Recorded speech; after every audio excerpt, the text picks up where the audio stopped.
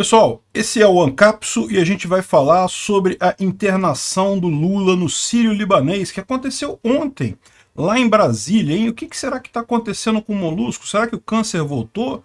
Será que realmente né, a gente, nossos sonhos, nossas preces foram atendidas?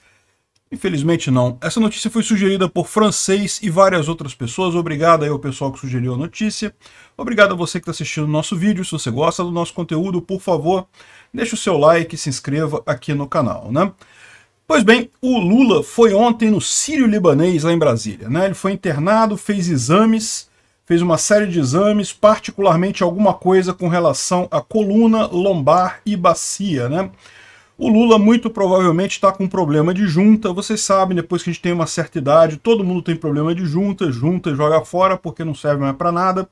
O Lula particularmente tem um problema de junta muito sério, né? E infelizmente, infelizmente a gente tem médicos bons no, no país. Isso é o que eu falo, cara. O Brasil estaria num outro patamar já se a medicina aqui fosse pior um pouquinho, né?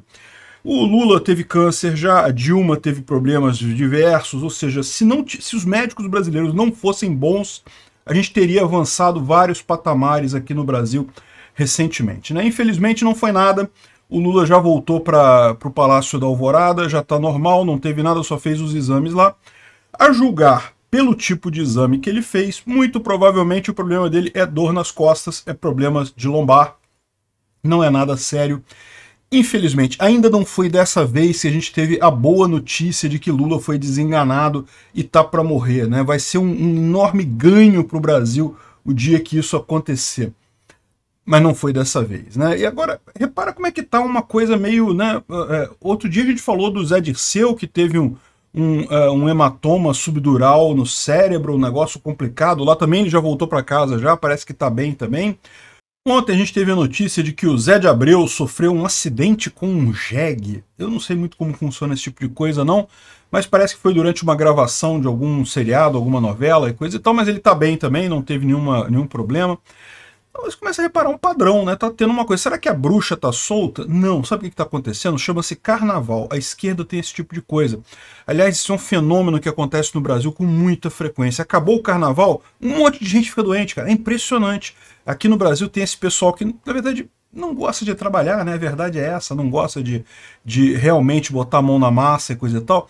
Aí o pessoal vai no carnaval, se esbalda no carnaval. No carnaval, cara, diz que é um fenômeno. Tu vai nos hospitais no carnaval, tudo vazio, não tem uma pessoa doente no carnaval, cara. É impressionante. Aí acabou o carnaval, enche todas. As emergências, tudo fica cheio.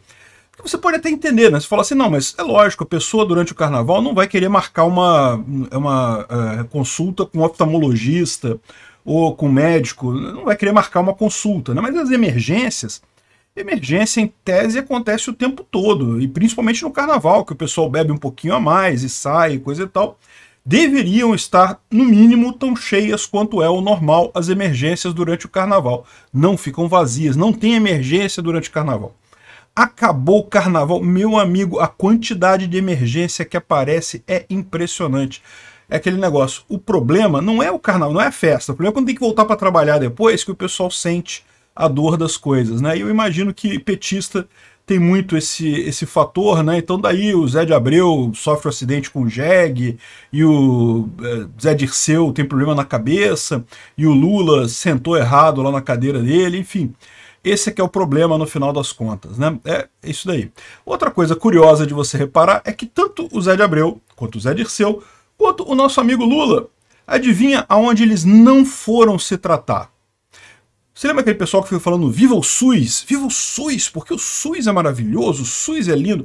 Você sabe, só quem fala vivo... A, a, o melhor indicativo de renda alta que você tem no Brasil é a pessoa postar vivo SUS no tweet dela. Porque é porque a pessoa é rica, nunca foi no SUS. É a única situação em que a pessoa posta vivo SUS.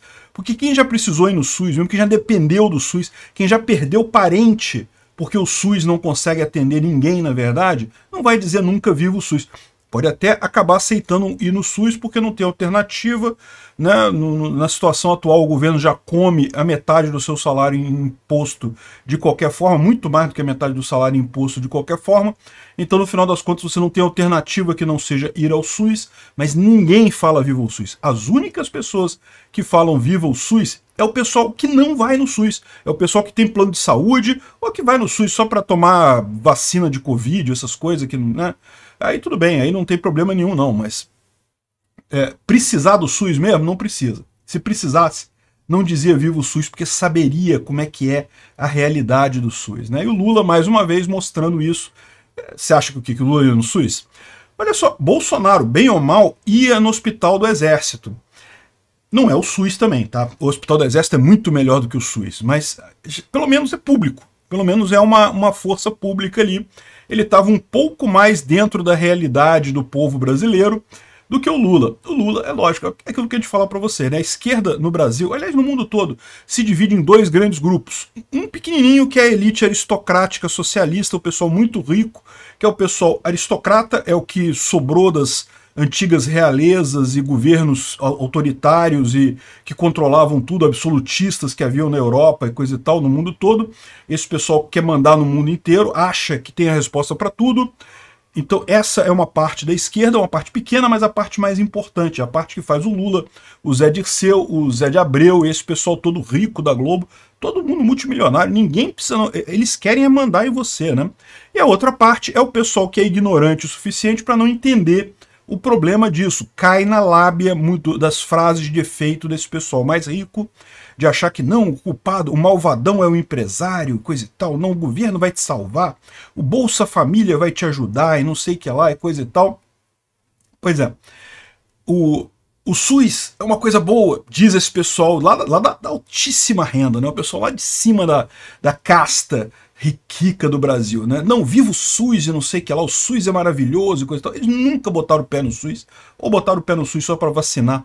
A galera lá de baixo, né, não tem jeito, não consegue acreditar nesse troço, né?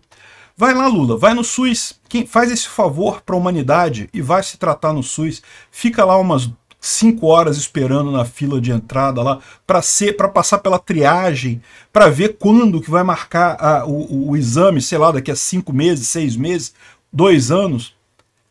Esse pessoal realmente. Obrigado por assistir o vídeo até o final. Além de curtir compartilhar e se inscrever no canal considere se tornar patrocinador com valores a partir de R$ 1,99 Clique no botão Seja Membro abaixo para saber as condições e vantagens de patrocinar o canal. Mais informações sobre o nosso projeto, visite nossos sites indicados na tela.